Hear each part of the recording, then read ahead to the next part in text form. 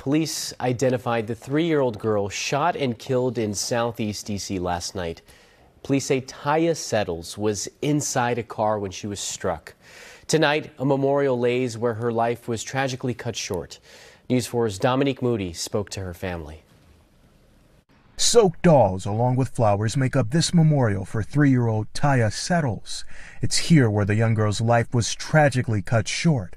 Settles' godfather, Bernard Brown, started the memorial to honor the little girl who meant the world to so many. Ty'ah was very bright and smart. She loved to laugh, joke, and play. And she had a good sense of humor. Last night, D.C. police responded to Hartford Street and Southeast for a report of a shooting. Moments later, the three year old was found at a nearby fire station on Irving Street. She was airlifted to the hospital, where she later died. Investigators say Settles was inside a car when an exchange of gunfire erupted. These senseless killings of these children, toddlers, infants, adolescents has got to stop.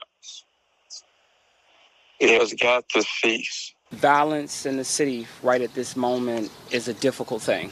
Uh, families are suffering. Evident remnants of last night's shooting was evident with bullets striking this car steps away from Settles Memorial.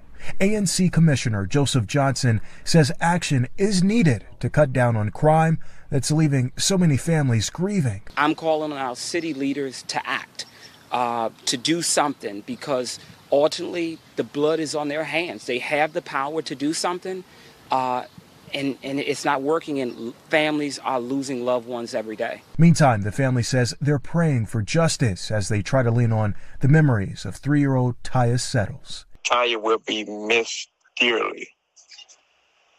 She will be loved dearly. If you have any information about the shooting, you are asked to contact police. In the district, Dominique Moody, News 4.